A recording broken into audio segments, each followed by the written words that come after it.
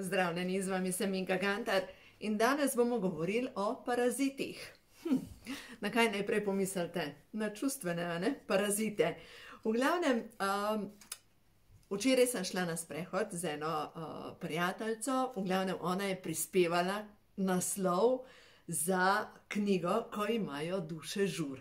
No in v glavnem sva se pogovarjali pač o odnosih in je rekla, pa sej veš, da se zdaj čistijo pač najbolj tiste uh, zajedavske energije, prav paraziti. No in danes sem pa še z eno modro gospo govorila in rekla, pa kje ti srečaš vse te vampirje, ki se lepijo na te? No, v glavnem, kako prepoznati in kako se znebiti parazitov. Dobro, pojmo najprej na fizično raven. Se pravi, kdo ima zakisano telo, je že prvo sporočilo njegovega telesa, da naj bo pozoren na zajedavce. In to čisto preprosto storite, tako da vzamete kozarec vode zjutraj, ko vstanete, van pljunete prvo slino in če se potopi, če nastanejo take lovke, pomeni, da imate v svojem telesu kandido. Kandida povzroča, v bistvu kandida se lahko razbohoti samo v zakisanem telesu in um, je tukaj v bistvu en tak alarm duše, telesa, da je treba nekaj spremeniti, predvsem pa, da je treba močno spremeniti prehrano in začeti uživati več uh, živil, ki alkalizirajo telo. Se pravi, potrebno je več zelenjave, uh, predvsem zelenjave, pri vsakem obroku nekaj od zelenjave in predvsem uh, rdeče meso je treba popolnoma ukinti svoje prehrane, um, oreščke lahko, uh, mlečne izdelke, lahko samo jogurt, albuminsko skuto. Tako da, v glavnem, kako razkisati telo, to je cela znanost. In uh, spet en klic sem imela, ena gospa je sprašvala, je rekla, da se je uh, pač eni od uh, njenih prijatelj zgodil, da se je telo enostavno sesu in, um, in je seveda zaskrbljena za njo. In je bilo prvo vprašanje, A je to možno? Ja, seveda, možno je v zakisanem telesu, da se zgodi, kot bi pojedala atomsko bombo. In takrat ne, pride več različnih dejavnikov in se enostavno naše telo sesuje. No, zdaj pa pojmo na čustven del, zato ker bi današnji video jaz rada temu posvetila. Ko imamo na energijskem nivoju in na nivoju odnosov ljudi, ki se napajajo z našo energijo kaj narediti v tem primeru in predvsem kako jih prepoznati. Prvo stvar moramo razumeti, da vsi ljudje, ki se napajajo z našo energijo, nas na nek način morajo spraviti v nizke vibracije. Se pravi, ko bom jaz na nizki vibraciji, lahko posega pleni po moji energiji. Dokler sem jaz v visoki vibraciji in sem mirna, srečna, zadovoljna, imam pred sabo kot ščit in enostavno ne dovoljujem, da bi kdorkoli lahko plenil mojo energijo. Se pravi, ne morem biti plen. Plen sem lahko samo takrat, ko sem ranjena. In te čustveni vampiri točno vejo, kaj je treba narediti. Naredijo neko dramo, nekaj učitajo, nekaj ti rečejo, se ti si pa zmerom tako toliko časa, da odreagiraš. In ko odreagiraš, tvoja energija je moja. No, in v glavnem, ko se mi naučimo, da uh, določeni ljudje se pač napajajo z našo energijo, in ko jim ne dovolimo več, pomeni, da ne glede na to, kaj nam rečejo, ne morejo priti več do naše energije, ker nas ne morejo sesut. In vem, da sem vam že razlagala o tem odnosu. Bil uh, en seminar, sem imela, in uh, to je en od od, tudi od vampirjev, ja, seveda.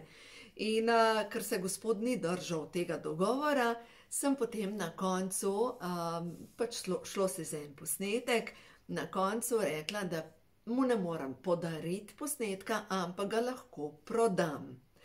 In uh, v glavnem, ker ni šlo na, po tej poti, kakor si on zamislil, da bo v bistvu prišel do zaston, do, do mojih strank, do vsega, pač on si zamislil, eno, govoril drugo, in na koncu nastala je ena velika godla. In samo postavlja meje, čisto mirno, se reka, lahko ti prodam posnetek, ne morem tega pa podariti, zato ker se nisi držal svojega dogovora. No, in v glavnem, ko mu to postavila meje, je on začel, je začel govoriti. Um, ti nimaš pojma o prehrani, jaz tebe ne bi nikomor priporočal, uh, ti si, ne vem, en kup stvari, brezveznih. In jaz sem bila vedno mirna, ker veste, kdo je on, da bo sodel o mojem znanju. Na koncu koncev jaz vem, da ga imam. In zdaj, če bi pa imela primankljaj, kaj bi se naredil? Kako je on nesramen do mene, kva bi rekel. In bi bila cela sesuta, in on mi, hops, po moji energiji. In jaz mirno poslušam to njegovo dramo in rečem, no, zanimivo vse to, kar si mi povedal, ne pove nič o meni, ampak ogromno o tebi. Pa je bila pa eksplozija. Zaradi tega, ker enostavno, um, veste, ljudje, ki so energijski zajedavci, vedno se pač mi učimo postavljati meje. Ne? Da enostavno ohranjamo svoj mir in da potem postaviš mejo, da postaviš svojo vrednost. No, zdaj pa kaj pa narediti v tem primeru, če je recimo vaša mama ali pa vaš oče en od teh čustvenih vampirjev, ki vam pije energijo. Ne? In zdaj pri vseh ostalih odnosih je za moje pojme bolj enostavno, kot pa ravno pri starših, zato ker je to naša kri. Mogoče tudi pri otrocih, če imate to isto šolo, ker je dobesedno to naša kri. Vse ostale uh, odnose, ki niso z nami v krnem sorodstvu, je bolj enostavno postaviti meje. Tudi mož, če je še tak zajedavc, on ni z vami v žlaht, kakorkoli gledate. In ko se naučite postaviti in reči dovolj, ste naredili ogromno. Zdaj mi pride na pamet ena zgodba. Leta nazaj, uh, to gospod leta poznam. In uh, njen mož je vsa ta leta govoril, da je predebela, da ni privlačna, da ne se ima pogleda v špehu, da pač taka ne more hoditi po svetu. In ona se celo življenje že obremenjuje s svojo težo, pač vse čas hujša, da bi bila lahko sprejeta. In, in zdaj sem dobila sporočilo, da se je preselila in da je po, jo je po 20 letih, mogoče celo več, uspela se postaviti in reči dovolj. A veste, to je tako neverjetno, ko uspeš reči nekomu dovolj. In zanimivo, s to gospod sva delali svetovanje. In ona je bila vedno prepričana, da je vir njenih težav njen mož. Preko svetovanja so prišli do zaključka, da je vir njenih težav njen oče in da je v bistvu njen mož samo kopija njenega očeta, zato da bo lahko postavila meje očetu in da bo lahko predelala odnos z njenim očetom. Dejansko povezani pa vse skupaj z moško figuro v njenem življenju. In zanimivo, ima hčerke. In prav, če gledamo, ne, mame, ki imamo hčerke, pomeni, da imamo uh, veliko lekcijo glede svoje vrednosti, zato ker s tem tudi hčerkam kažemo, kakšen odnos je pametno imeti sama s sabo. Tako da, ja, te stvari so zanimive. Zdaj pa kako iz tega primeža ven, se pravi, teh zajedavcev. Jaz sama sem pri sebi prišla do zaključka, da um, hodijo različni ljudje v moje življenje, te na poslovnem področju zdaj. Predelujem neke karmične lekcije iz uh, različnih obdobij, uh, pa ne zdaj iz tega življenja, ampak iz prejšnjih življenj, ampak vedno z namenom postaviti meje. In zanimivo, kar uh, mogoče na svet tudi za vas, če ne znate prepoznati, v štartu nekoga, ki bi planil na vašo energijo. Veste, zato ker te ljudje znajo biti na začetku tako zabavni, tako fajn vse je super. In potem, ko si pa že pošteno noter v odnosu, ko si že ne do tukaj, do tukaj, takrat se pa pokaže ta prava vrednost. Zato je pomembno, da, uh, da si vzamete, če imate kakršni koli odnos, 3-4 dni, čas za premislek. In da predebatirate, da mogoče lete zdaj kaj naredite, če ne zaznavate na prvo žogo teh zajedavcev. Se jaz imam težave s tem, veste, da enostavno zjutraj v meditaciji ali pa že zvečer, ko greste spat, prosite vašo višjo dušo, da rečete, prosim, pomagaj mi, daj mi jasen odgovor, kaj imam za narediti. In pošljete, kot da bi ta problemček ali pa to situacijo zapakirali v en balonček in jo pošljete vaši duši. Zdaj to vam bom pokazala, to je iz knjige, ko imajo duše žur. Um, in v treh dneh boste sigurno dobili odgovor, sto procentno. Lejte takole, tukaj ste vi in pošljete potem zlatem plamenu vaši duši vprašanje, višji jaz in boste dobili točen odgovor, kar imate za narediti. A vam nekaj povem, kaj se mi zadnjič zgodil. Zadnjič se mi je zgodil, pač šlo se je za neko sodelovanje in, uh, in mislim, da bi lahko krasno šlo skozi. No, in s to uh, gospo sta se dobili in greva skozi uh, slike in tako naprej. In na koncu, na koncu prideva do tega, je rekla, da to so pač energijske slike, jaz to rabim za v knjigo. In je ona rekla, da bova pomeditirale, um, da, da bova dobila ta pravi odgovor. No, in v glavnem sem rekla, v redu, in gre skozi mene, da ji pač energijsko izravnam ta del njenega dela in da naj postavi ceno, ki bo sestavljala Teslova števila 369.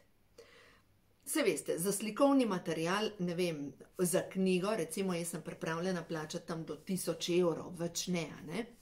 In, uh, in kot premoči rečem, pa upam, da ne boš rekla 93 tisoč evrov. Ne? Nisem nič nadaljevala. No, in na kar, na kar ona reče, no, bom jaz razmislila, bom pomeditirala in me pogleda in reče 6000 evrov. Up, mislite, 6000 evrov je meni ogromno denarja. In, uh, in sem še najprej rekla, ok, v redu, ampak ja, potem sem odstopila od tega, zato ker 6000 evrov, pa se nimam rudnih zlata tukaj. In sem odstopila od tega najnega sodelovanja, in ko govoriva, je rekla, pa se si me sama izvala. Hm. In sem razmišljala, kako sem jaz to sama izvala. Izvala sem v tej smeri, ta 93 tisoč je v bistvu zavibriral z njenim pohlepom. Veste? In je pritisnil na neko točko, ne? in je tako delujejo zadeve, zanimivo je, kako delujejo te energije. In na konc koncev sem sama naslikala naslovnice po glavi, vam jih bom še pokazala, in samo eno povabilo. Um, knjiga računam, da se bo dala tiskati nekje tam čez en teden. In zdaj so še prednaročila za novo knjigo, ko imajo čakre žur na moji spletni strani srečnoživljenje.com, lahko date prednaročilo in jo dobite s popustom in brezplačno dostavo. Položnico vam pošljem na mail ali pa jo boste tako ali tako dobili noter v paketu, ko knjiga izide. V glavnem, jaz se veselim te nove knjige, res bo božanska. In razmišljam sama pri sebi če boste vi naredili take korake, kot sem jih jaz naredila skozi to obdobje, ko sem jo pisala, knjigo sem začela pisati v začetku korone, da se razumemo, v teh dveh letih lahko rečem, da sem, da zdaj pa res diham, da zdaj nekako čutim to svojo vrednost, da, veste, kaj sem danes še vzavestila. Prav ta, uh, a ne zajedavci, pojmo z nas zajedavce zajedavci, lahko jih imenujete narcisi, lahko so paraziti, lahko so vampiri, ni važno. Te ljudje vas bodo vedno ranili v korensko čakro, se pravi, kam? To, kar ti si. Ti si taka, ti nisi dovolj, ti si preveč, tebi fali to. Se pravi, v to tvojo samovrednost. In če imaš, ran, če imaš rano na samo vrednosti, se pravi, to je prva čakra, ti paraziti točno vejo, da morajo pritisniti tja, ker te ranijo v tvoj življenjski sok. Zdaj pa zakaj govorim življenjski sok? Zato, ker korenska čakra je povezana s trtico. Trtica je pa tako kot, oziroma ta um, ena kost je tam na dnu trtice, je tako kot trikotnik. In v bistvu ta vpliva na to, kako gre energija po hrbtenici navzgor. In če vam srani točno tja, kjer je vaša samovrednost, center vaše samovrednosti, vam bo zmanjkalo ustvarjalne energije v življenju, enostavno ne boste imeli pospeška v življenju, ne boste imeli ustvarjalnega navdiha, ne boste mogli narediti korake naprej, ker korenska čakra vpliva na premik, na noge, na, na kolke, na, na gibanje. Tako, lete, oni to podzavestno čutijo, ki vas morajo raniti. In dokler imate vi rano na samo vrednosti, to, kar jaz sem, tok časa boste očitno privabljali ljudi, ki vas bojo na nek način, pač vam bojo pokazali, ki imate rano.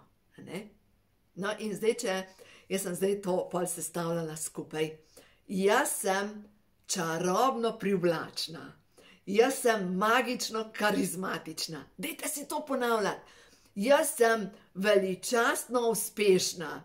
Ti pridevniki so mi to kluštkani in, gledajte, vsi imamo v sebi to moč in zato si potrjujte, potrjujte, kdo ti si. Kdo ti si? Ne samo jaz sem uspešna, jaz sem čarobno uspešna. Dajte si predstavljati že tam, kjer boste, ko boste dosegli to, kar vi želite. Boste videli, vse imate moč, moč spremembe. Zato, ja, zanimive so te zadeve. A, tako da, če imate zajedavce v svojem življenju, te zajedavci vas učijo postaviti svojo vrednost. Te zajedavci vas učijo reči ne, postaviti meje. In ko nekdo na kakršen koli način prekorači čustvene, ali kakršne druge meje, morate jasno povedati dovolj. Ne? In dokler sem prestrašena, se bom skrila, bom rekla, upam, da se bo nehal, da je Bog pomagaj, da se bo nehal. Ampak, gledajte, Bog ni tisti, ki je tako le, ampak dovoli, da v meni zraste ta božanska moč in da jaz rečem dovolj. Veste, to se učimo. Tako da, zdaj, če imate to isto lekcijo, kar imam tudi jaz, ne na zadnje, čiščenje parazitov, gledajte, gremo še na ošotove karte, pa prehod v novo dobo. Da vidimo, za vse tiste stare duše, ki se učite postavljati svojo vrednost, kaj vam sporočajo karte. Da vidimo, hm, silovitost, ful dobre karte, plavanje s tokom. Dovolite, da vas tok odnese tja, kjer je za vas najbolje. In zavedati se morate, da nič, kar si želite, ni proti toku. Se pravi, da moraš še več napora dati noter, da moraš veslati proti toku. Vse tisto, kar vam je namenjeno, je s tokom. Dovolite, da vas življenje ponese tja, kjer je za vas najboljše, da se boste kot duša lahko izrazili.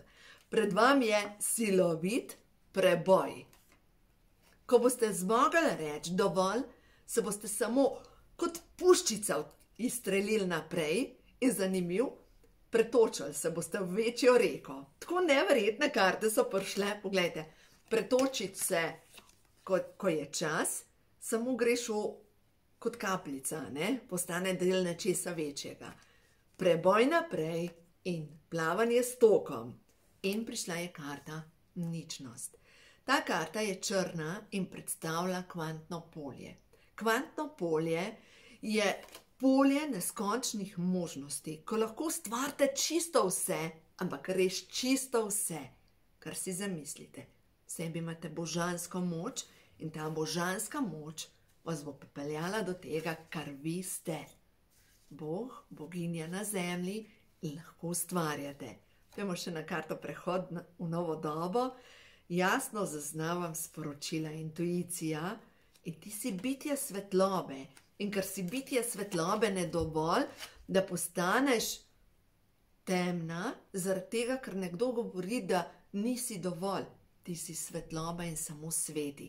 In če nekoga bode tvoja svetloba v oči, to ni tvoj problem. Ne moreš zaradi tega manj svet. In na svetu si zato, da povezuješ z ljubeznijo.